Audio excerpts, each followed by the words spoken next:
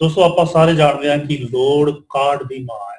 ਦੋਸਤੋ ਗੱਲ ਆਪਾਂ ਕਰੀਏ 1900 ਤੇ 69 ਦੀ। ਜਦੋਂ ਅਮਰੀਕਾ ਨੂੰ ਇਹ ਲੋੜ ਮਹਿਸੂਸ ਹੋਈ ਕਿ ਉਹਦੀ ਮਿਲਟਰੀ ਨੂੰ, ਉਹਦੀ ਫੌਜ ਨੂੰ ਖੁਫੀਆ ਜਿਹੜੀ ਸੂਚਨਾਵਾਂ ਨੇ, ਉਹਨਾਂ ਸੂਚਨਾਵਾਂ ਨੂੰ ਆਫੀਸਰਸ ਤੱਕ ਜਾਂ ਸਰਕਾਰ ਤੱਕ ਲੈ ਕੇ ਆਉਣ ਦੇ ਲਈ ਜਾਂ ਸੂਚਨਾਵਾਂ ਦੇ ਆਦਾਨ ਪ੍ਰਦਾਨ ਦੇ ਲਈ ਬਹੁਤ ਵੱਡੀ ਸਮੱਸਿਆ ਆ ਰਹੀ ਹੈ। ਉਹਦੇ ਵਿੱਚ ਕਈ ਸੂਚਨਾਵਾਂ ਜਿਹੜੀਆਂ ਲੀਕ ਹੋ ਜਾਂਦੀਆਂ ਸੀ। ਤਾਂ ਸਰਕਾਰ ਨੇ ਇਹ ਵਿਗਿਆਨੀਆਂ ਨੂੰ ਆਦੇਸ਼ ਦਿੱਤਾ ਕਿ ਕੋਈ ਐਸਾ ਨੈਟਵਰਕ ਬਣਾਇਆ ਜਾਵੇ, ਕੋਈ ਐਸੀ ਤਕਨੀਕ ਬਣਾਈ ਜਾਵੇ ਜਿਹਦੇ ਨਾਲ ਸਰਕਾਰ ਦੇ ਕੰਪਿਊਟਰਾਂ ਦੇ ਵਿੱਚ ਭੇਜਿਆ ਹੋਇਆ ਸੰਦੇਸ਼ ਸਿਰਫ ਫੌਜ ਦੇ ਅਫਸਰਾਂ ਤੱਕ ਹੀ ਜਾਵੇ। ਤਾਂ ਦੋਸਤੋ 1969 ਦੇ ਵਿੱਚ ਇੱਕ ਐਡਵਾਂਸ ਰਿਸਰਚ ਪ੍ਰੋਜੈਕਟ ਏਜੰਸੀ ਜਿਹੜੀ ਸੀ, ਉਹ ਹੋਂਦ ਵਿੱਚ ਆਈ।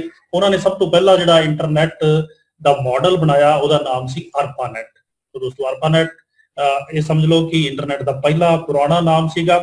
ਸੋ ਇੰਟਰਨੈਟ ਹੌਲੀ-ਹੌਲੀ ਬਹੁਤ ਵਿਆਪਕ ਹੋ ਗਿਆ। ਵਪਾਰਕ ਤੌਰ ਦੇ ਉੱਤੇ ਇਹਦੀ ਪ੍ਰਵਾਨਗੀ ਜਿਹੜੀ ਹੈ 1979 ਦੇ ਵਿੱਚ ਅਮਰੀਕਾ ਨੇ ਦੇ ਦਿੱਤੀ, ਕਿਉਂਕਿ ਉਹਨਾਂ ਨੂੰ ਲੱਗਿਆ ਕਿ ਇਹ ਆਮ ਜਿਹੜੇ ਸਿਵਲ ਲੋਕ ਨੇ, ਉਹਨਾਂ ਲਈ ਵੀ ਇਹ ਇੰਟਰਨੈਟ ਜਿਹੜਾ ਹੈ, ਉਹ ਬਹੁਤ ਵਧੀਆ ਭੂਮਿਕਾ ਨਿਭਾ ਸਕਦਾ ਪਰ ਭਾਰਤ ਦੇ ਵਿੱਚ ਇੰਟਰਨੈਟ ਹੌਲੀ-ਹੌਲੀ ਜਿਹੜਾ ਹੈ, ਤੁਰਦਿਆਂ ਹੌਲੀ-ਹੌਲੀ ਭਾਰਤੀ ਧਰਤੀ ਦੇ ਉੱਤੇ ਇਹਨੇ ਪੁਲਾਂਗ ਜਿਹੜੀ ਹੈ, ਉਹ ਆ ਕੇ ਭਰੀ। ਉਹ 15 ਅਗਸਤ 1995 ਨੂੰ। ਦੋਸਤੋ ਇੰਟਰਨੈਟ ਤੁਸੀਂ ਸਾਰੇ ਵਰਤਦੇ ਹੋ ਔਰ ਕੋਈ ਵੀ ਮੈਨੂੰ ਲੱਗਦਾ ਹੈ ਕਿ ਦੁਨੀਆ ਦੇ ਵਿੱਚ ਐਸਾ ਪੜਾ ਲਿਖਿਆ ਵਿਦਿਆਰਥੀ, ਵਿਅਕਤੀ ਨਹੀਂ ਹੋਏਗਾ, ਜਿਹੜਾ ਇੰਟਰਨੈਟ ਦੀ ਵਰਤੋਂ ਨਾ ਕਰਦਾ ਹੋਵੇ। ਦੋਸਤੋ ਵੈਬਸਾਈਟ ਦੇ ਨਾਲ ਤੁਹਾਡਾ ਵਾਸਤਾ ਰੋਜ਼ ਹੀ ਪੈਂਦਾ ਹੈ। ਵੈਬਸਾਈਟ ਕੀ ਚੀਜ਼ ਹੈ? ਅੱਜ ਦੇ ਇਸ ਅਧਿਆਇ ਦੇ ਵਿੱਚ ਵਿਸ਼ੇਸ਼ ਤੌਰ ਤੇ ਇੱਕ ਵਿਸ਼ਾ ਹੈ ਕਿ ਵੈਬਸਾਈਟ ਜਦੋਂ ਅਸੀਂ ਕਿਸੇ ਵੀ ਸਮੱਗਰੀ ਨੂੰ, ਕਿਸੇ ਵੀ ਪਾਠ ਸਮੱਗਰੀ ਨੂੰ, ਕਿਸੇ ਵੀ ਤਸਵੀਰਾਂ ਨੂੰ, ਆਡੀਓ ਨੂੰ, ਵੀਡੀਓ ਨੂੰ, ਜਦੋਂ ਉਸ ਨੂੰ ਅਸੀਂ ਇੰਟਰਨੈਟ ਦੇ ਉੱਤੇ ਪਾ ਦਿੰਨੇ ਆ ਵੈਬ ਪੇਜਾਂ ਦੇ ਰੂਪ ਦੇ ਵਿੱਚ ਇੰਟਰਨੈਟ ਦੇ ਉੱਤੇ ਸੰਜੋ ਦਿੰਨੇ ਆ ਇੰਟਰਨੈਟ ਦੇ ਉੱਤੇ ਪ੍ਰਕਾਸ਼ਿਤ ਕਰ ਦਿੰਨੇ ਆ ਤਾਂ ਉਸ ਨੂੰ ਅਸੀਂ ਵੈਬਸਾਈਟ ਕਹਿੰਦੇ ਆ ਉਸ ਵੈਬਸਾਈਟਾਂ ਤੁਸੀਂ ਬਹੁਤ ਸਾਰੀਆਂ ਵੇਖਦੇ ਹੋ। ਜਿਵੇਂ ਆਪਣੇ ਇਹ ਬਲੌਗ ਜਿੱਥੇ ਤੋਂ ਤੁਹਾਨੂੰ ਸਟੱਡੀ ਮਟੀਰੀਅਲ ਮਿਲ ਰਿਹਾ ਹੈ, ਉਹ ਇੱਕ ਬਲੌਗ ਹੈ, ਇੱਕ ਤਰ੍ਹਾਂ ਦੀ ਵੈਬਸਾਈਟ ਹੈ, ਜਿਹਦਾ ਐਡਰੈਸ puponlineworkshop.blogspot ਤੁਸੀਂ ਲਿਖਦੇ ਹੋ। ਇਸੇ ਤਰ੍ਹਾਂ punjabiComputer.com ਵੈਬਸਾਈਟ ਹੈ।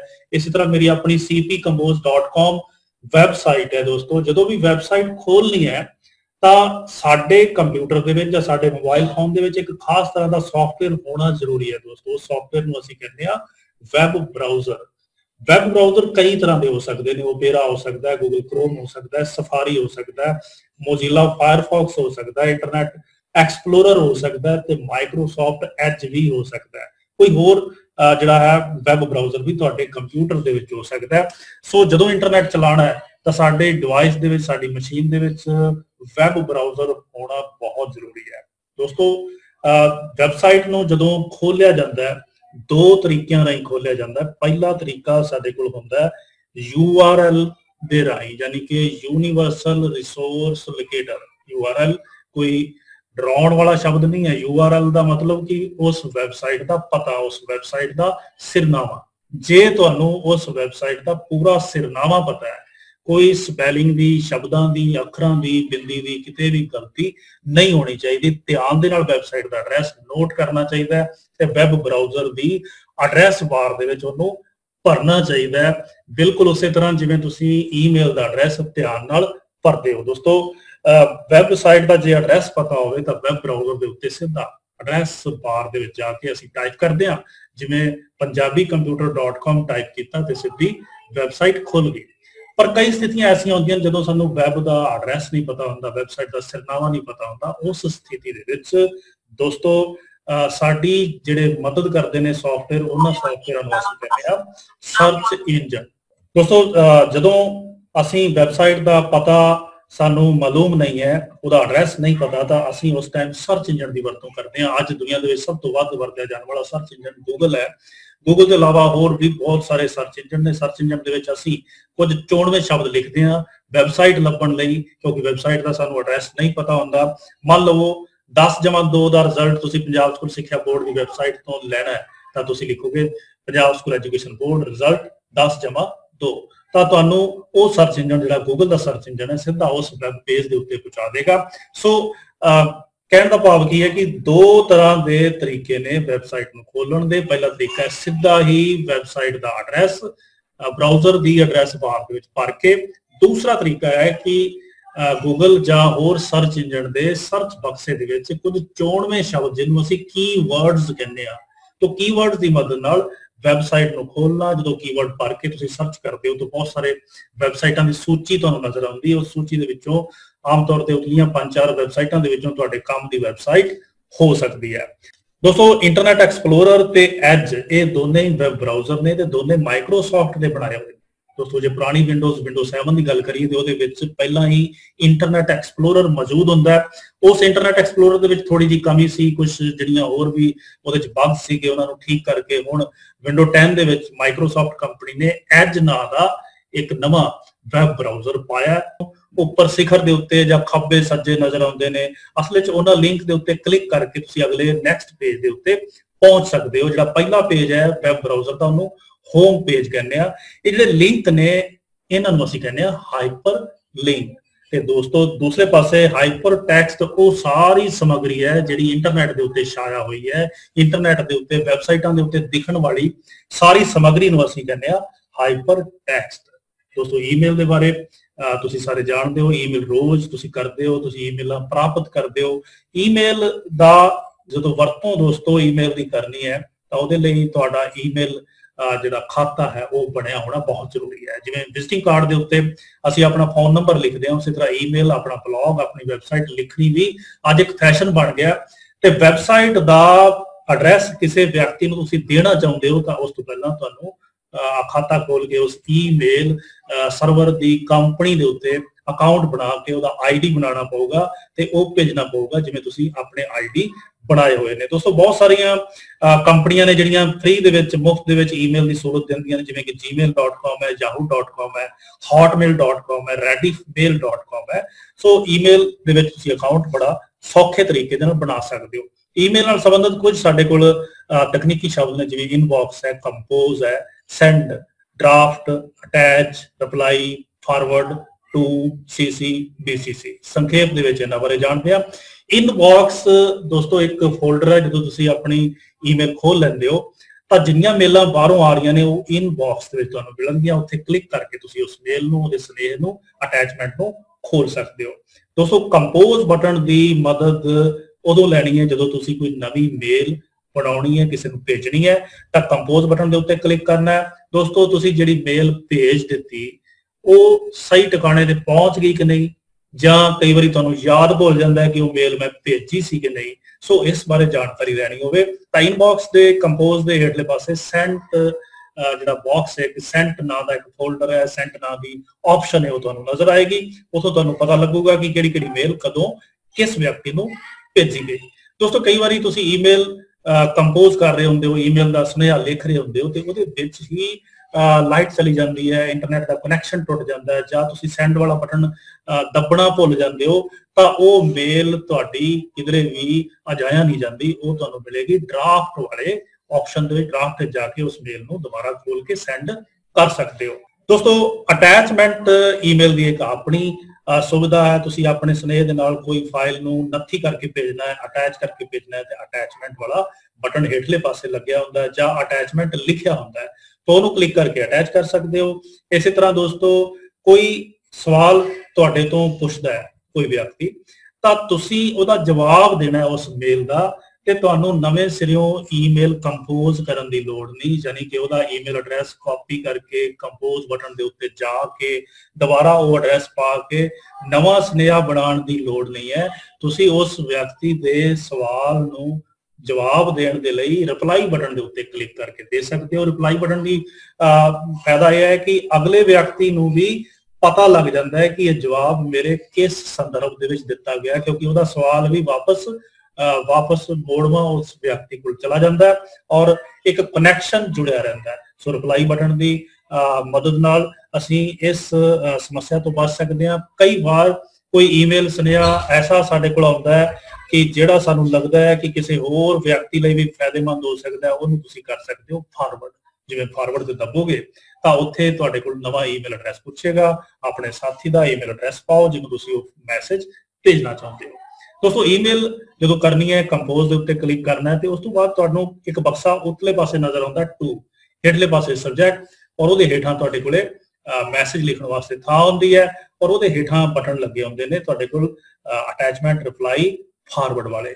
ਸੋ 2 ਦੇ ਨਾਲ ਸੀਸੀ ਤੇ ਬੀਸੀਸੀ ਦੀ ਅਹਿਮੀਅਤ ਵੀ ਹੈ। ਫਿਲਹਾਲ ਇਸ ਦੀ ਵਰਤੋਂ ਘਟ ਗਈ ਹੈ, ਪਰ ਇਹਦੇ ਅਰਥ ਸਮਝਣੇ ਬਹੁਤ ਜ਼ਰੂਰੀ ਨੇ। ਸੀਸੀ ਤੇ ਬੀਸੀਸੀ ਨਾਲ ਇੱਕ ਬਟਨ ਲਿੰਕ ਦੇ ਉੱਤੇ ਕਲਿੱਕ ਕਰਕੇ ਦੋਨੇ ਬਕਸੇ ਤੁਸੀਂ ਖੋਲ ਸਕਦੇ ਹੋ। ਸੀਸੀ ਦਾ ਮਤਲਬ ਹੁੰਦਾ ਕਾਰਬਨ ਕਾਪੀ ਤੁਸੀਂ ਉਸ ਮੈਸੇਜ ਦੀ ਕਾਪੀ ਕਿਸੇ ਹੋਰ ਵਿਅਕਤੀ ਨੂੰ ਭੇਜਣੀ ਹੈ ਤਾਂ ਸੀਸੀ ਵਾਲੇ ਬਕਸੇ ਵਿੱਚ ਉਸ ਦਾ ਈਮੇਲ ਐਡਰੈਸ ਲਿਖੋਗੇ। ਇਸੇ ਤਰ੍ਹਾਂ ਬੀਸੀਸੀ ਹੁੰਦਾ ਹੈ ਬਲਾਈਂਡ ਕਾਰਬਨ ਕਾਪੀ ਯਾਨੀ ਕਿ ਕੋਈ ਐਸੇ ਵਿਅਕਤੀ ਨੂੰ ਤੁਸੀਂ ਉਹੀ ਮੇਲ ਜਿਹੜੀ ਉੱਪਰ 2 ਦੇ ਵਿੱਚ ਸੀਸੀ ਦੇ ਵਿੱਚ ਪਾਈ ਸੀ, ਉਹ ਮੇਲ ਭੇਜਣੀ ਚਾਹੁੰਦੇ ਹੋ, ਪਰ ਤੁਸੀਂ ਨਹੀਂ ਚਾਹੁੰਦੇ ਕਿ ਦੂਜੇ ਵਿਅਕਤੀਆਂ ਨੂੰ ਉਸ ਈਮੇਲ ਦਾ ਪਤਾ ਲੱਗੇ। ਕਿਉਂਕਿ ਜਦੋਂ ਤੁਹਾਡੇ ਕੋਲ ਮੇਲ ਆਉਂਦੀ ਹੈ, ਤੁਸੀਂ ਮੋਰ ਦੇ ਉੱਤੇ ਕਲਿੱਕ ਕਰਕੇ ਸਾਰਿਆਂ ਦੇ ਪਤੇ ਪੜ ਸਕਦੇ ਹੋ ਕਿ ਹੋਰ ਇਹ ਮੇਲ ਕਿਹੜੇ-ਕਿਹੜੇ ਬੰਦਿਆਂ ਨੂੰ ਭੇਜੀ ਗਈ। ਪਰ ਜਿਹੜਾ ਪਤਾ BCC ਦੇ ਵਿੱਚ ਲਿਖਿਆ ਜਾਏਗਾ, ਉਹ ਦੂਜਿਆਂ ਨੂੰ ਨਹੀਂ ਪਤਾ ਲੱਗੇਗਾ ਉਹਦਾ। ਸੋ ਇਸ ਤਰੀਕੇ ਦੇ ਨਾਲ ਈਮੇਲ ਦੇ ਉੱਤੇ ਤੁਸੀਂ ਮੁਹਾਰਤ ਹਾਸਲ ਕਰ ਸਕਦੇ ਹੋ। ਈਮੇਲ ਸੱਚੇ ਤਰੀਕੇ ਦੇ ਨਾਲ ਭੇਜ ਸਕਦੇ ਹੋ। ਈਮੇਲ ਦਾ ਪਾਸਵਰਡ ਹਮੇਸ਼ਾ ਜਿਹੜਾ ਹੈ ਬਦਲਦੇ ਰਹਿਣਾ ਉਹਨੂੰ ਹਮੇਸ਼ਾ ਜਿਹੜਾ ਹੈ ਉਹ ਗੁੰਝਲਦਾਰ ਰੱਖੋ ਨੋਟ ਨਹੀਂ ਕਰਨਾ ਔਰ ਪਾਸਵਰਡ ਨੂੰ ਬਦਲਦੇ ਰਹੋ।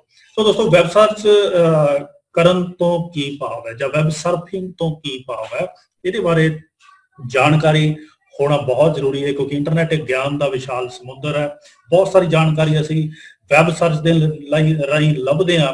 ਤੋਂ ਵੈਬਸਾਈਟਾਂ ਦਾ ਸਹੀ ਸਰਨਾਵਾ ਜੇ ਪਤਾ ਨਾ ਹੋਵੇ ਤਾਂ ਅਸੀਂ ਜਿਵੇਂ ਪਹਿਲਾਂ ਦੱਸਿਆ ਕਿ ਗੂਗਲ ਦੇ ਸਰਚ ਇੰਜਨ ਦੇ ਉੱਤੇ ਜਾ ਕੇ ਕੀਵਰਡ ਪਾ ਕੇ ਸਰਚ ਕਰਦੇ ਹਾਂ। ਸੋ, ਜਦੋਂ ਅਸੀਂ ਅਲੱਗ-ਅਲੱਗ ਵੈਬਸਾਈਟਾਂ ਦੀ ਥੋੜਾ ਫਰੋਲੀ ਕਰਦੇ ਹਾਂ, ਤਾਂ ਇਸ ਪ੍ਰਕਿਰਿਆ ਨੂੰ ਕੰਪਿਊਟਰ ਦੀ ਭਾਸ਼ਾ ਵਿੱਚ ਕਹਿੰਦੇ ਆ ਵੈਬ ਸਰਫਿੰਗ।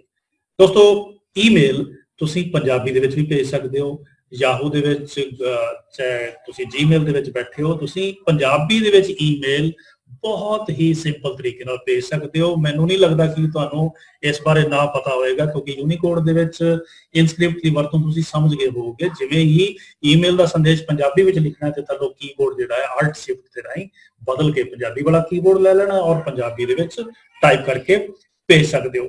ਇਸ ਤਰ੍ਹਾਂ ਕੁਝ ਹੋਰ ਵੀ ਪ੍ਰੋਗਰਾਮ ਨੇ ਜਿਨ੍ਹਾਂ ਦੇ ਰਾਹੀਂ ਅਸੀਂ ਭੇਜ ਸਕਦੇ ਹਾਂ ਜੀਮੇਲ ਆਪਣੇ ਪੰਜਾਬੀ ਦੇ ਵਿੱਚ। ਦੋਸਤੋ, ਕੁਝ ਮਹੱਤਵਪੂਰਨ ਵੈਬਸਾਈਟਾਂ ਨੇ ਪੰਜਾਬੀ ਦੇ ਨਾਲ ਸੰਬੰਧਿਤ ਨੇ। ਉਹਨਾਂ ਚੋਂ ਪਹਿਲੀ ਵੈਬਸਾਈਟ ਹੈ ਸਾਡੇ ਕੋਲ ਪੰਜਾਬੀ ਖੋਜ ਸਰਚ ਇੰਜਨ ਜਿਸ ਤਰ੍ਹਾਂ ਤੁਸੀਂ ਜਾਣਦੇ ਹੋ ਕਿ ਗੂਗਲ ਸਭ ਤੋਂ ਵਧੀਆ ਔਰ ਪਾਵਰਫੁਲ ਜਿਹੜਾ ਹੈ ਸਰਚ ਇੰਜਨ ਹੈ, ਉਸੇ ਤਰ੍ਹਾਂ ਪੰਜਾਬੀ ਖੋਜ ਸਰਚ ਇੰਜਨ ਜਿਹੜਾ ਹੈ, ਇਹ ਪੰਜਾਬੀ ਯੂਨੀਵਰਸਿਟੀ ਵੱਲੋਂ ਬਣਾਇਆ ਗਿਆ ਔਰ ਜਿਹਦਾ ਐਡਰੈਸ ਹੈ punjabi.khoj.learn.punjabi.org ਇਸ ਐਡਰੈਸ ਦੇ ਉੱਤੇ ਜਾ ਕੇ ਇਹ ਸਰਚ ਇੰਜਨ ਇੱਕ ਐਸਾ ਸਰਚ ਇੰਜਨ ਹੈ ਜਿਹਦੇ ਵਿੱਚ ਕੀਵਰਡ ਤੁਸੀਂ ਪੰਜਾਬੀ ਵਿੱਚ ਪਾਓ ਔਰ ਵੈਬਸਾਈਟਾਂ ਤੁਸੀਂ ਜਾਣਕਾਰੀ ਲੱਭਣੀ ਹੈ ਜਿਹੜੀ, ਉਹ ਹਿੰਦੀ ਦੀ ਵੈਬਸਾਈਟਾਂ ਵਿੱਚੋਂ ਵੀ ਲੱਭ ਸਕਦੇ ਹੋ, ਸ਼ਾਹ ਮੋਕੀ ਦੀਆਂ ਵੈਬਸਾਈਟਾਂ ਦੇ ਵਿੱਚੋਂ ਵੀ ਲੱਭ ਸਕਦੇ ਹੋ। ਦੋਸਤੋ, ਅੰਗਰੇਜ਼ੀ ਤੋਂ ਪੰਜਾਬੀ ਦੇ ਵਿੱਚ ਜਾਂ ਅੰਗਰੇਜ਼ੀ ਤੋਂ ਹਿੰਦੀ ਦੇ ਵਿੱਚ, ਅੰਗਰੇਜ਼ੀ ਤੋਂ ਉਰਦੂ ਦੇ ਵਿੱਚ ਅਨੁਵਾਦ ਕਰਨਾ ਹੈ, ਤਾਂ ਤੁਹਾਨੂੰ ਸਭ ਨੂੰ ਪਤਾ ਹੋਵੇਗਾ ਕਿ ਗੂਗਲ ਦਾ ਜਿਹੜਾ ਅਨੁਵਾਦ ਪ੍ਰੋਗਰਾਮ ਹੈ ਟ੍ਰਾਂਸਲੇਸ਼ਨ ਸੌਫਟਵੇਅਰ ਹੈ ਇਹ ਬਹੁਤ ਹੀ ਮਹੱਤਵਪੂਰਨ ਹੈ, ਪੂਰੀ ਦੁਨੀਆ ਇਸ ਨੂੰ ਵਰਤਦੀ ਹੈ। ਕਿਸੇ ਟਾਈਮ ਗੂਗਲ ਦੇ ਇਸ ਟ੍ਰਾਂਸਲੇਸ਼ਨ ਸੌਫਟਵੇਅਰ ਨੂੰ ਬੜਾ ਮਜ਼ਾਕ ਦਾ ਇੱਕ ਪਾਤਰ ਬਣਾਇਆ ਜਾਂਦਾ ਸੀ, ਪਰ ਅੱਜ ਦੋਸਤੋ ਗੂਗਲ ਦੇ ਟ੍ਰਾਂਸਲੇਸ਼ਨ ਸੌਫਟਵੇਅਰ ਦੀ ਵਰਤੋਂ ਕਰਕੇ ਬਹੁਤ ਵਧੀਆ ਕੰਮ ਕਰਾਇਆ ਜਾ ਸਕਦੇ ਹਨ ਹਾਲਾਂਕਿ 100% ਜਿਹੜਾ ਹੈ ਮਨੁੱਖੀ ਅਨੁਵਾਦ ਦੀ ਤਰ੍ਹਾਂ ਮਸ਼ੀਨ ਦਾ ਅਨੁਵਾਦ ਨਹੀਂ ਹੋ ਸਕਦਾ, ਫਿਰ ਵੀ ਗੂਗਲ ਸਰਚ ਇੰਜਨ ਦੇ ਰਾਹੀਂ ਬਹੁਤ ਸਾਰਾ ਫਾਇਦਾ ਅਸੀਂ ਲੈ ਸਕਦੇ ਹਾਂ। ਗੂਗਲ ਸਰਚ ਇੰਜਨ ਯੂਜ਼ ਕਰਨ ਦੇ ਲਈ, ਵਰਤਣ ਦੇ ਲਈ ਤੁਹਾਨੂੰ ਵੈਬਸਾਈਟ ਜਿਹੜੀ ਤੇ ਜਾਣਾ ਪਏਗਾ, ਉਸ ਵੈਬਸਾਈਟ ਦਾ ਐਡਰੈਸ ਤੁਸੀਂ ਨੋਟ ਕਰ ਸਕਦੇ ਹੋ। www.translate.google.com ਦੋਸਤੋ, ਇਹਨੂੰ ਵੈਬ ਸਰਚ ਬਾਕਸ ਦੇ ਵਿੱਚ ਤੁਸੀਂ ਲਿਖਣਾ ਹੈ ਤੇ ਦੋ ਬਕਸੇ ਤੁਹਾਨੂੰ ਨਜ਼ਰ ਆਉਣਗੇ। ਜੇ ਤੁਸੀਂ ਮੋਬਾਈਲ ਦੇ ਉੱਤੇ ਇਸ ਵੈਬਸਾਈਟ ਨੂੰ ਖੋਲ ਰਹੇ ਹੋ ਉੱਪਰਲੇ ਬਕਸੇ ਦੇ ਵਿੱਚ ਤੁਸੀਂ ਅੰਗਰੇਜ਼ੀ ਦੇ ਵਿੱਚ ਪੰਕਤੀਆਂ ਜਾਂ ਆਪਣਾ ਮੈਟਰ ਪਾਣਾ ਹੈ ਥੱਲੇ ਤੁਹਾਨੂੰ ਪੰਜਾਬੀ ਦੇ ਵਿੱਚ ਜਾਂ ਹਿੰਦੀ ਦੇ ਵਿੱਚ ਜਿਸ ਭਾਸ਼ਾ ਦੇ ਵਿੱਚ ਵੀ ਤੁਸੀਂ ਚੋਣ ਕਰੋਗੇ, ਉਹਦੇ ਵਿੱਚ ਤੁਹਾਨੂੰ ਮੈਟਰ ਮਿਲੇਗਾ। ਜਿਹੜੇ ਵਿਦਿਆਰਥੀ ਆਪਣੇ ਸਮਾਰਟਫੋਨ ਦੇ ਉੱਤੇ ਜਿਹੜਾ ਗੂਗਲ ਟਰਾਂਸਲੇਟਰ ਯੂਜ਼ ਕਰਨਾ ਚਾਹੁੰਦੇ ਨੇ, ਉਹ ਗੂਗਲ ਟਰਾਂਸਲੇਟਰ ਜਿਹੜੀ ਐਪ ਹੈ ਉਸ ਨੂੰ ਡਾਊਨਲੋਡ ਕਰ ਸਕਦੇ ਨੇ।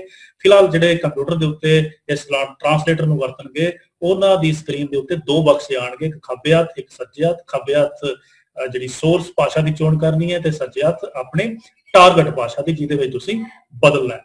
ਸੋ ਇਹ ਸੀਗੀ ਗੂਗਲ ਦੀ ਬਹੁਤ ਹੀ ਮਹੱਤਵਪੂਰਨ ਸੁਵਿਧਾ, ਜਿਹਦੇ ਰਾਹੀਂ ਤੁਸੀਂ ਦੁਨੀਆ ਦੀਆਂ ਕਾਫੀ ਸਾਰੀਆਂ ਭਾਸ਼ਾਵਾਂ ਨੂੰ ਆਪਸ ਵਿੱਚ ਅਨੁਵਾਦ ਕਰ ਸਕਦੇ ਹੋ। ਦੋਸਤੋ, ਇਸੇ ਤਰ੍ਹਾਂ ਇੱਕ ਰੋਮਨਾਈਜ਼ ਤਰੀਕੇ ਦੇ ਰਾਹੀਂ ਪੰਜਾਬੀ ਨੂੰ ਟਾਈਪ ਕਰਨ ਦਾ, ਜਿਵੇਂ ਵੱਲ ਆਪਾਂ ਅੱਖਰ ਦੇ ਵਿੱਚ ਸਿੱਖਿਆ, ਉਸੇ ਤਰ੍ਹਾਂ ਹਿੰਦੀ ਦੇ ਵਿੱਚ ਰੋਮਨਾਈਜ਼ ਤਰੀਕੇ ਨਾਲ ਲਿਖਣਾ, ਤਾਂ ਤੁਹਾਨੂੰ ਜਾਣਾ ਪਊਗਾ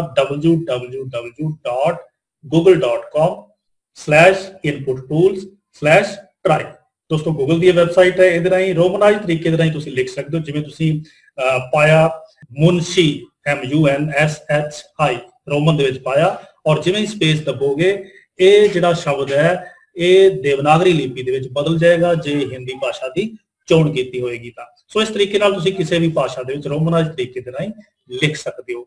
ਕੁਝ ਵੈਬਸਾਈਟਾਂ ਐਸੀਆਂ ਨੇ ਜਿਹੜੀਆਂ ਤੁਹਾਨੂੰ ਘਰੇ ਬੈਠਿਆਂ ਪੰਜਾਬੀ ਅਧਿਆਪਨ, ਅਧਿਐਨ ਦੀ ਸੁਵਿਧਾ ਦਿੰਦੀਆਂ ਨੇ। ਉਹਨਾਂ ਵਿੱਚੋਂ ਪਹਿਲੀ ਵੈਬਸਾਈਟ ਹੈ elearnpunjabi.com ਦੋਸਤੋ, ਪੰਜਾਬੀ ਯੂਨੀਵਰਸਿਟੀ ਨੇ ਬਹੁਤ ਸਾਰੇ ਲੜੀਵਾਰ ਵੀਡੀਓ ਲੈਕਚਰ ਤਿਆਰ ਕੀਤੇ ਨੇ ਪੰਜਾਬ ਸਕੂਲ ਸਿੱਖਿਆ ਬੋਰਡ ਦੀ ਮਦਦ ਨਾਲ। ਉਹ ਤੁਸੀਂ elearnpunjabi.com ਦੇ ਉੱਤੇ ਜਾ ਕੇ ਵੇਖ ਸਕਦੇ ਹੋ। ਇਸੇ ਤਰ੍ਹਾਂ ਦੋਸਤੋ ਪੰਜਾਬੀpedia.org ਹੈ।